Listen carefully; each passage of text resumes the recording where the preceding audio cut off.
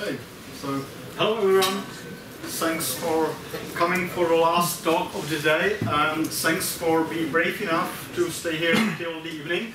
My name is Vojta Juránek and I work for Red Hat. Specifically, I work as a QE for JDG, which is JBoss data grid platform, which is a product built top of the Infinispan project.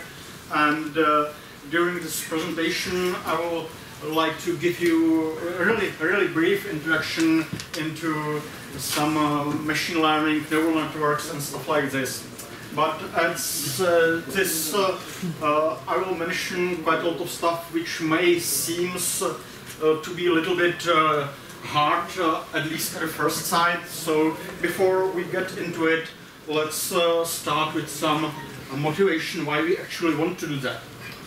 What you can see here is a plot which shows uh, uh, how the amount of data produced on the internet grows over time. So it's probably not surprising that the amount of data grows exponentially.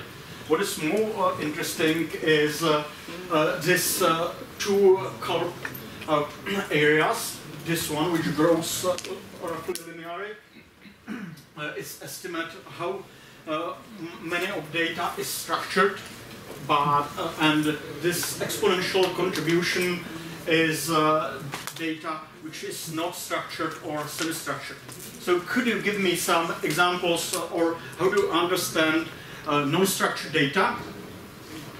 Anybody? So go ahead. For example, when uh, someone uh, chats with someone another?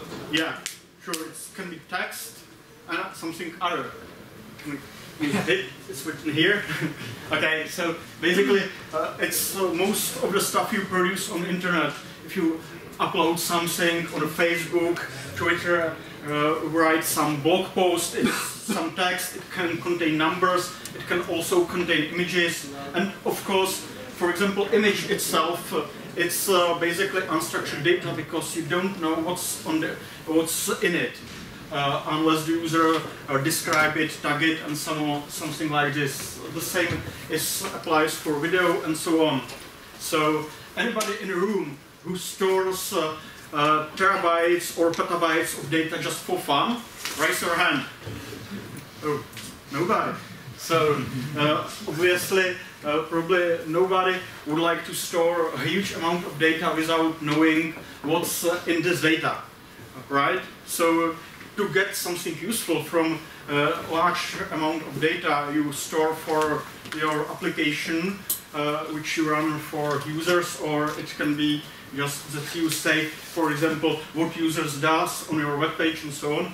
You need uh, to process this data to get some useful information from it.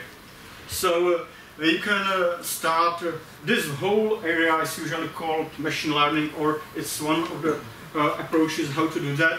And it's really was a huge topic, which cars uh, start with uh, some uh, trivial techniques like parsing the text uh, or doing some averaging, histograms, and so on. Uh, but, or you can use some, uh, for example, linear regression and things like that.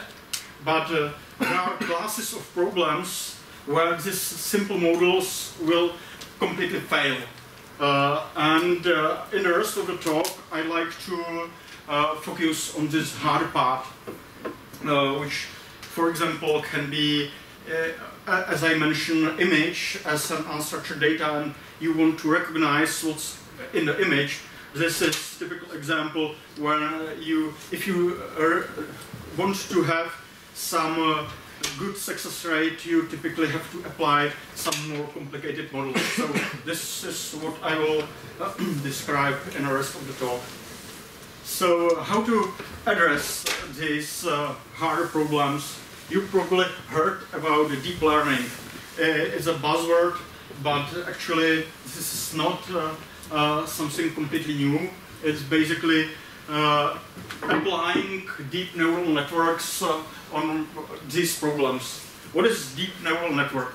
It's uh, it's sketched here. It's uh, the simple, the simplest possible uh, deep neural network.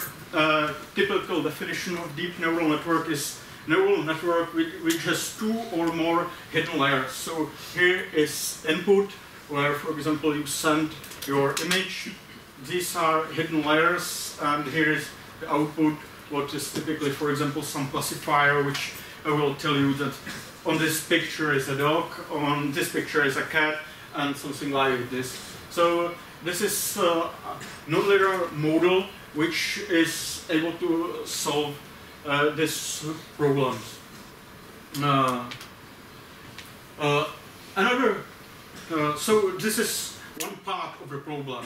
The second part of the problem is that uh, in recent years there is more and more pressure from users to process data almost in real time. Uh, nobody wants to wait for the feedback. If you want to upload something somewhere, you want to get immediate feedback, for example, similar post and things like this, and you want this immediately. And as this is happening in a really large amount of data, this uh, is usually not called big data, but it uh, starts to be called fast data. So basically the problem is that you have a really huge amount of data and you need to process uh, uh, almost in real time uh, as much uh, fast as possible. There are again some techniques how to do that. Uh, for example, you switch to event streaming, this is pretty obvious. Uh, you can keep the data in memory as much as possible during when you do some computation like regression model or averaging and so on. Uh, you probably heard about Apache Spark, right? This is a typical example uh, which does that. It uh, compared to series of Hadoop uh, MapReduce job on top of HDFS. Apache Spark can give you uh, pretty nice speed up. Not only the main thing is that it tries to keep it everything in memory, but there is lots of more optimization it does. Uh, and another uh, hint how to uh, be fast is not to keep uh, the data in memory when you do some computation, but as you typically uh, do something with the results, so you should keep the data in memory whole your application stack. Uh, and I won't go into the details. I spoke about this topic here a year ago, so if you want uh, to uh, learn something uh, more about this, you can check my talk from the last year. I gave there also there some brief introduction into Apache Spark, so if you haven't heard about Apache Spark yet, it can also give you some introduction. So basically, let me do a really short summary what we have now. Actually, we have a problem because we have uh, data which can be pretty complex, which requires some complex processing to sort out, and at the same time, we want to do that uh, as fast as possible in ideal case in real time. So it uh, might sound a uh, little bit maybe impossible or at least hard to do. So in the uh, rest of the talk, I will try to uh, show you that uh, it's not impossible and actually if you choose the right tools it can be actually quite easy. Uh, there are many tools which you can use. I choose a couple of uh, them which I like so it's my personal choice. Uh, it can be done very likely with other tools so uh, if you have a question why I choose uh, some of these tools I will show you later on their answers because I use them, I like them, and typically, for example, I will give you a short introduction into TensorFlow. So, question why I choose that because in the past I worked with that a little bit, so I like that, and uh, there can be some discussion what's better and what's now, but it's probably not important here. So first uh, uh, tool I like to introduce you is TensorFlow. It's a uh, toolkit for building deep neural networks and other computational uh, graphs. The second one is Infinispan.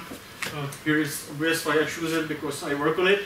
Uh, and um, the last one to have complete pictures because these kind of data like pictures, videos and so on are usually not possible to keep everything in memory all the time. So typically you would probably need some data layer where you upload the data from Infinispan. So I choose Ceph, which is, uh, in my opinion, quite interesting technology. Here can be HDFS or whatever you want. Uh, there are typically standard solutions. So uh, one thing I choose Ceph is because I found it really interesting compared to, for example, uh, OpenStack Swift or S3. And the second one is that if you do some search uh, in the internet how to use, for example, Apache Spark with Ceph, uh, you typically don't found, uh, find any good answer for that. So I, I try to show you that with Infinispan it's easy to use also so uh, now I will uh, give, I try to give you quick introduction into each of these three projects and in the end I will show how to how it can work together. So let's get started with TensorFlow. As I said, uh, it's a tool for building uh, primary uh, focus on building deep neural network. There are many such frameworks. Maybe if you are a little bit interested in neural networks, you probably already heard about Caffe, Theano, CNTK, Deep Learning 4J, or TensorFlow. And uh, uh, if you are interested in some more complete list with some uh, short overview what each framework uh, uh, can do, here's a quite nice short summary on this Wikipedia page. And if you check there, you can uh, actually see that the market here is quite competitive and many frameworks can cover basically all everything what other framework does. So it's I'm not saying that TensorFlow is the best because I never do any research about that, but I like it. Uh, it's a, a, library done by Google Brains team. If uh, you are interested in this, I would recommend you to read this white paper. Uh, it uh, can give you more in-depth uh, introduction uh, how it works, about its architecture and so on. it's actually second generation of uh, Google machine learning system. The first one was called DistBelief, and it was open sourced about uh, one year ago. Obviously, it's used by Google for, for example, speech recognition, photos processing, and uh, many other projects. And uh, uh, it's, of course, used by many other projects uh, outside Google uh, I would like to here mention only one. It's Mozilla DeepSpeech project, and I'm mentioning it because uh, here uh, on DevConf is another talk about this project on Sunday by Tilman Kamp. So if you are interested in uh, machine learning, I guess this this one could be uh, also interesting interesting uh, talk for you. So let's get, get a quick overview or get some basis of TensorFlow. Uh, TensorFlow represents uh, uh, or provides you some pieces from which you can build your, for example, neural network. Uh, and it's uh, stored in a graph, computational graph. There's trivial sketch here. The nodes represent represent mathematical operation like matrix multiplication, add, applying, for example, predefined, there are some predefined functions uh, like ReLU functions which you can apply on top of the matrix, and the edges are inputs to, to the operations. Well, so you build this from the pieces TensorFlow provides for you, you build this graph, so typically you build some neural network, and then you will run it in uh, some session. So you will uh, create your model and then push it into some session and run it. So session is basically a client uh, uh, representation of a particular TensorFlow runtime. There two kinds of variables besides ordinary variables I would like to mention The first one is what is called variable in TensorFlow, and it's variable which has predefined size and type. and the sec second one is placeholder, which is not known, uh, or its size, it's not known during uh, the or and value, of, uh, the most important thing, the value is not known during uh, the time when you create the graph and typically serves as an input uh, to, to, to this graph. So typically, for example, if you process the image, the image will uh, be placeholder and when you run uh, this uh, graph, it will be input to this graph. And last thing I will use uh, or mention later on is checkpoint.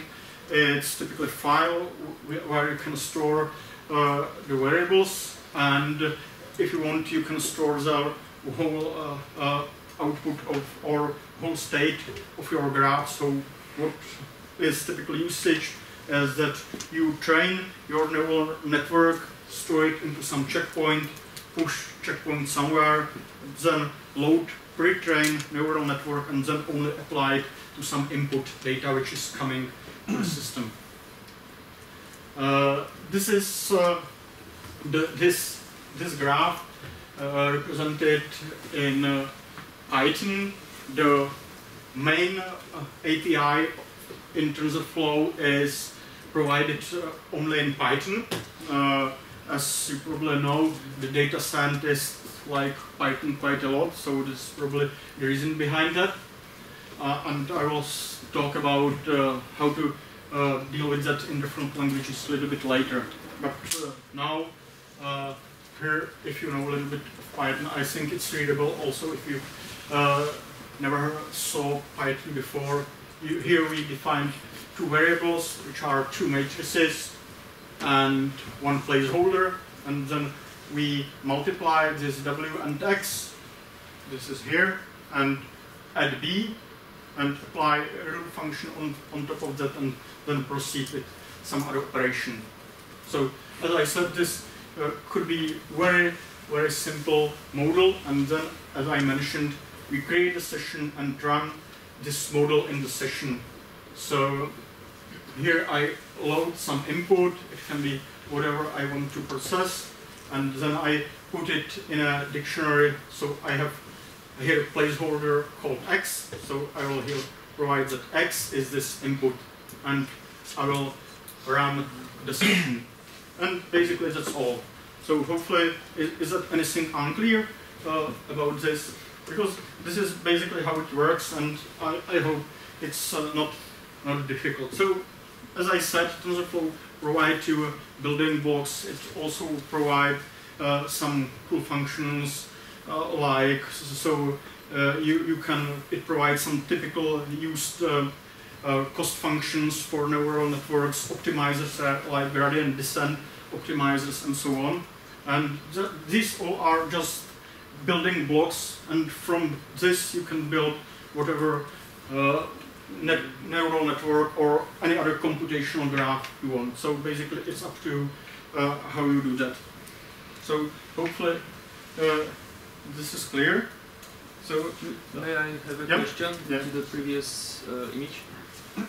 well, uh, uh, my question is how is this related to the to the neural network itself? Uh, is can I um, can I say that the nodes from the hidden layer are like the yeah, this is actually looks like this. Yes. Yeah. So so the BWX is like the input. Is like the typically X only is input and uh, this is um, uh, variables. This is bias yes. and th this is weights. Yes. Which you tune when you train the neural network. So basically, you tune. This is parameters, and you tune it during the training. So. Uh -huh, okay. Yeah. Okay. Clear. Mm -hmm. So I would quickly mention a couple other features which, which I found really cool uh, in TensorFlow. The first one is that you can st uh, store it in protobuf format. Uh, not sure if you ever heard about protobuf. It's a format from Google which can be read in, or Google provides uh, uh binding for many languages, so you can reload it in other languages.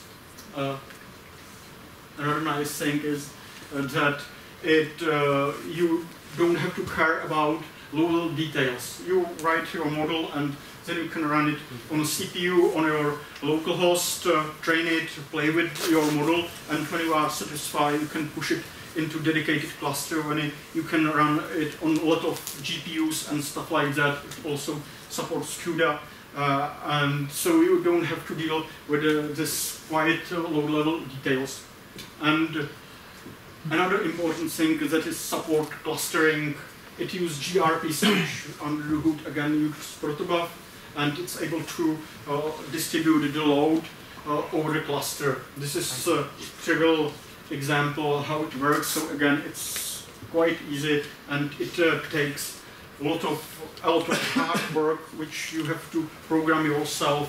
Uh, so uh, it's done in the framework. So you can very easily distribute the load uh, over your cluster and uh, run it in distributed fashion. So now uh, later on I will run it from Java. So how to do that? For example, you are fine to build your model in Python, but you don't want to run in production in Python. So uh, uh, as I said, the main API is in Python and uh, it provides only very limited API for C++. There, there are two issues to provide the API in Java, but unfortunately these two are still not done. But fortunately, we can uh, use C++ API via JNI, and don't worry, you don't have to do this, this yourself. There are a couple of libraries which are already implemented, and one I use, and it works really nice, is uh, Java CPP presets. Uh, so using this library, uh, it looks in Java something like this. You build your model in Python, store it uh, in, into a protobuf file, and then in Java just define new graph.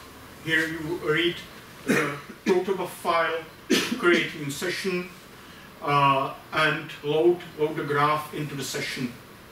Then you define a new tensor.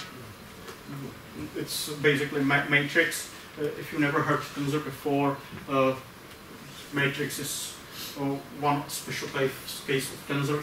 So uh, it's here it's called tensor, and load some input data into it, and here you run the session, and it's similar to Python, but as it's usual in Java, it's more uh, rather, rather, rather long, but basically it again just, just provides uh, the input and it says here, yeah, I'm not consistent here, uh, what in the previous slide was X, here is images. So I had in my model uh, a placeholder which is called images and here I provide new array of tensors and with only one item and it's this input.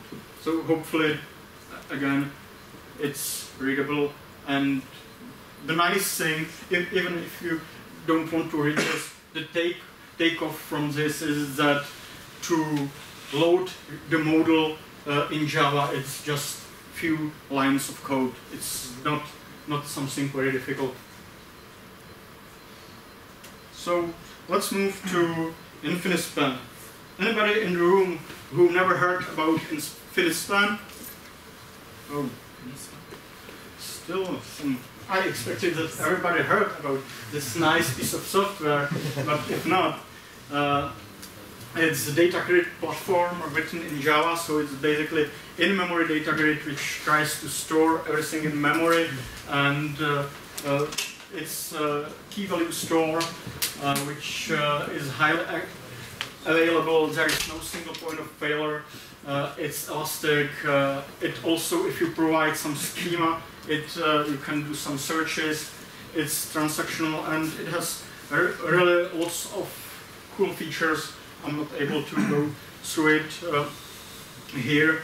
There was a good talk about Infinispan this morning by Sebastian, and if you miss it, I will refer you to infinispan.org. Uh, but uh, basically, uh, to understand what will follow, you don't have to understand some cool features of Infinispan. Just keep in mind that it's something which can run in a cluster and uh, keeps all the data in memory. So it tries to provide some layer which is really fast and where you can store your data.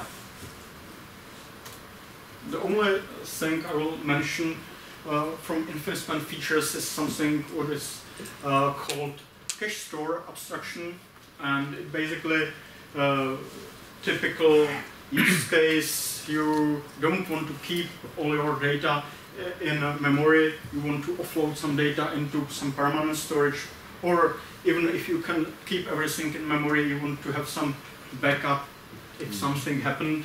So uh, this is a way how you can load the data from Infinispan some permanent storage and again then load the data from permanent storage to back and forth. It, it works both way. And uh, there are various implementation of cache stores. You can store the data into databases, various cloud providers like OpenShift Swift or or sorry, OpenStack Swift uh, or Amazon S3, uh, LevelDB, Cassandra, and also Ceph. Uh, what I forgot to mention here is this configuration piece, and this is how you configure the cache to keep only some limited number of items. So here I define that I want to do eviction of items, and I want to keep only five items. And I can choose strategy which will be used.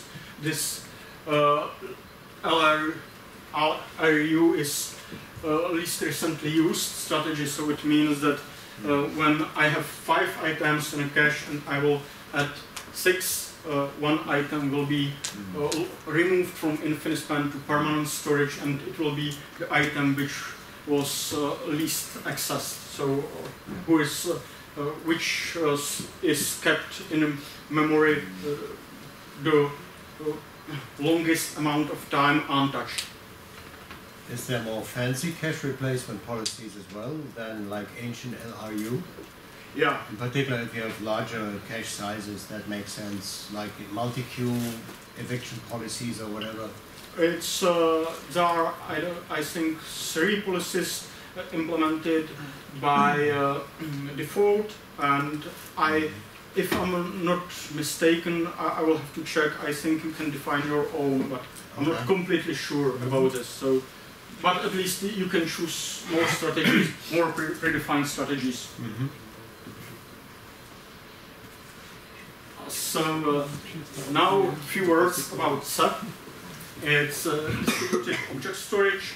Uh, the really nice uh, uh, thing about it is that it provides uh, various access to the data layer. You can access it, access it as object storage block device and also uh, as a Red Bull POSIX file system. And all this uh, can be applied to one cluster, so you don't have to uh, run dedicated cluster for object storage and uh, dedicated one for if you want to run uh, some shared uh, file system. Everything can run on top of single Ceph cluster. Again, similar as Infinispan, it's uh, highly available without no single point of failure. And uh, they said that uh, it can scale to exabyte level. I personally never tried, so I don't know. You can try it at home if you like. Uh, I would believe them if they uh, state this. And of course, it's open source. Here's a high-level architecture overview. There are three ways how you can access it and actually there's fourth one, and it's what is provided by Ceph. In the bottom here is what they call Rados, and it's basically the uh, uh, distributed object storage itself. And the first way how you can access it is Librados, and uh, uh, it's library which you can bind to your application and talk from your application to the uh, Rados uh, distributed object store. And uh, uh, a few months ago, I implemented cache store for Infinispan, which can store data into the uh, Ceph and it's use this Librados. So hopefully, uh, it's uh, it, it's far. I never done so far any performance test, but it should be faster than these two typical ways which you can use because it goes directly through uh, librados and JNI calls. And how to integrate it with Infinispan, it's again pretty easy. You just add this, for example, into Infinispan server, this piece of code where you just uh, define the IP address of the cluster and your credentials to let you in, and that's all. So again, the integration is pretty easy. So, before we go to the demo, so uh, I try to show you that uh, writing the model in uh, TensorFlow is up to you. How to do that, just uh, save it into protobuf file, loading into uh, Java in some uh, Infinispan client is pretty easy. It's a couple lines of code and integration of Infinispan with Ceph is about, again, a few lines of code of configuration everything is done for you. So now to the demo where I try to put everything together. Uh, I try to keep it as simple as possible. So I used uh, neural network hello world example and it's a MNIST data sample. If you never heard about this before, it's basically a set of handwritten digits and the goal is to recognize uh, which digit is written on the picture. And uh, the second reason why I choose it is because uh, uh, TensorFlow uh, guys uh, did quite a nice job and it's there are uh, MNIST tutorial uh, or tutorials which use MNIST data samples on TensorFlow uh, documentation pages. There are very detailed tutorial for beginners and also a slightly faster tutorial for experts. Uh, basically, I copy paste the code from there so that if you uh, go uh, through the code of the demo later on, uh, there is there are no comments because it's really detailed commented here, so you can go there and read step by step what, what it does. And even if you don't want to go through the, my demo, I, I would recommend you to check uh, these pages because it's a really nice interaction.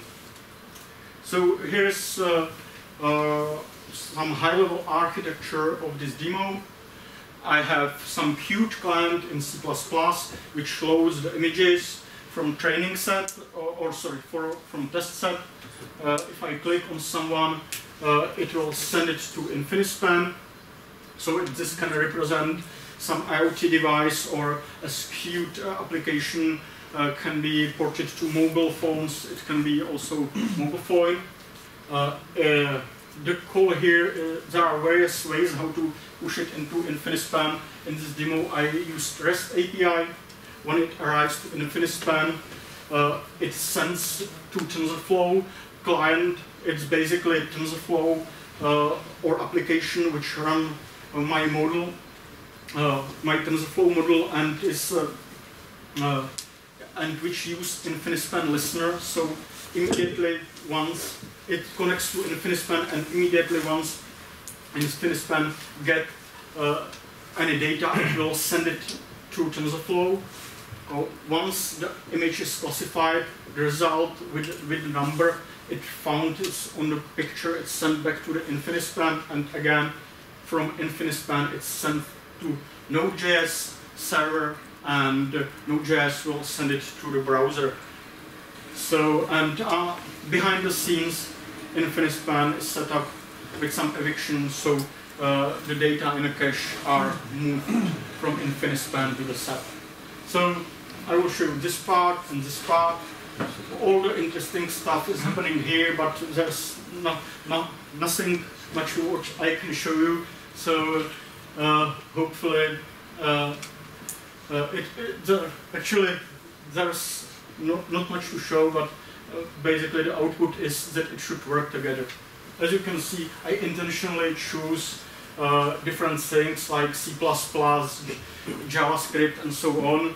As you can see here that there are about five different languages, and uh, uh, your application can be simpler, but what I like to show that it's not big demo, and uh, you can still integrate uh, several couple uh, or several languages together quite, quite easily and it's not a big pain. So, how much time do I have? five minutes. So, mm, so I have Infinispan server running. Here is uh, my application which runs TensorFlow with Infinispan client. Here is Node.js server running, and I connect to Infinispan. Yeah, I, I also have VM which runs uh, Ceph. So here I can show the pools which are running there. Here you can see is a pool which will store uh, the data from Infinispan. It should be empty now, so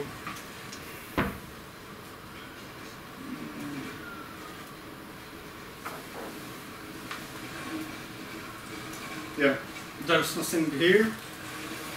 And so here I have uh, my Qt uh, application which load uh, test uh, data from MNIST sample. So as you can see, as I said, it's handwritten digits. When I click on some number, it will send it to Infinispan with ID of the image, which is some ID, a number of uh, in, in an array, and as I showed you in slide before, it will get processed and hopefully will appear here. So let's try. Wow, and looks like that it works. So uh, I can click some more.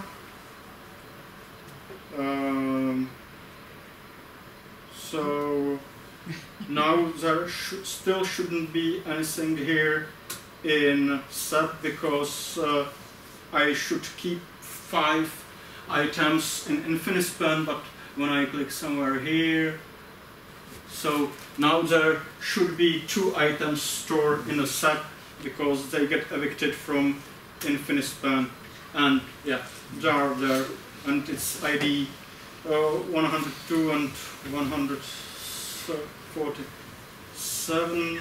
So these are the last two get evicted.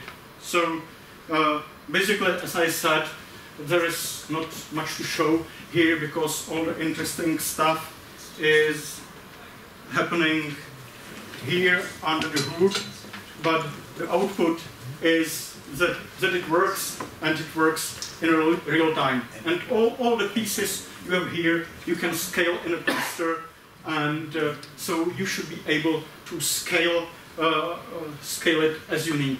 And if you, uh, I'm, I don't have much time, so I actually I have one more minute.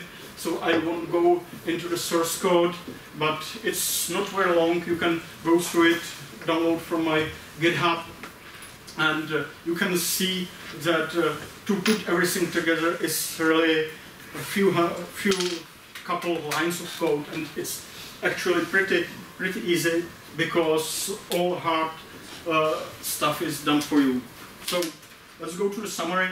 If you uh, forgot everything from this talk, I would like to remember three points that one first one is that building a pipeline for processing complex data in real time or almost real time can be actually quite easy if you uh, use Stride tools.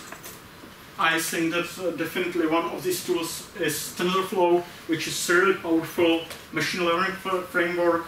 And the last one is uh, that Infinispan is real middleware because all the pieces in this demo was glued together by Infinispan. So that is not only just uh, some stupid cache, but it's really major piece of hardware which you can use as a backbone for your application stack.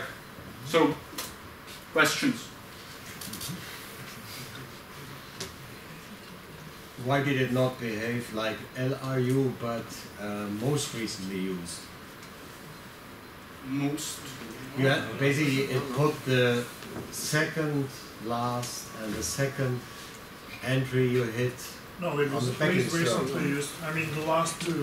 Right. The most recently used was on top. It has the f- first five in the cache. Yeah. So the topmost two have to be evicted to get No, no, no. No, the, the out. top the most It's it's uh, other way around. So here here is seven, and if I click something, it will appear on, on the top. So when I click here, so it, it will appear on the On top. the top, so uh, So, so these two were evicted, and it's correct. Okay.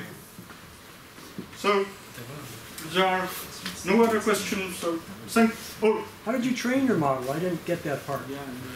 I didn't mention it here, and as I said, uh, it's uh, basically I wanted to keep it simple, so I just use uh, the example from TensorFlow. Oh. So basically, I run, and it's really stupid uh, neural networks. There is no regularization dropout and so on.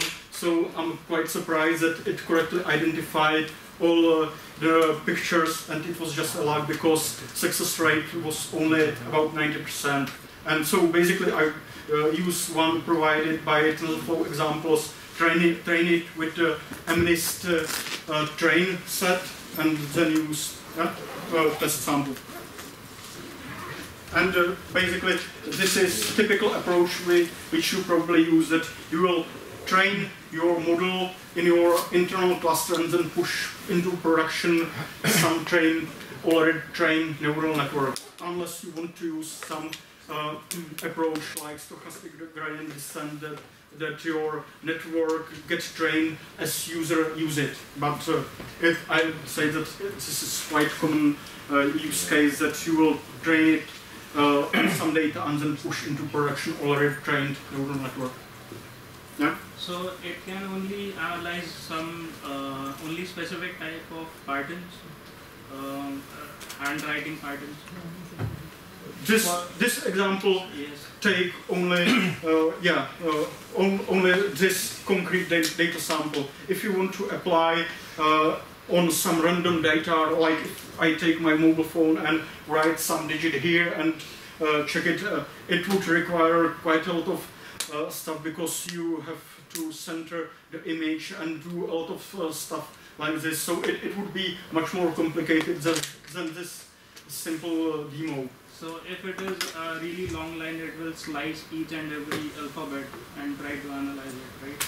Alphabet or uh, Yeah, it, it's definitely possible and uh, doable. And I think maybe you, if not uh, in a uh, TensorFlow directly, I think that on Udacity is some online uh, hook course which you can take by the TensorFlow guys and there is, I guess, some example when you uh, train your model for whole al- alphabet. It's not just images, right? You can, you- you can give it text to, to, to find patterns in it, you know, I Right. mean, Yeah, it's not not that simple. Like recognize uh, the numbers. If you would like to take some text and split it, it, it would be again uh, one level more complicated than this.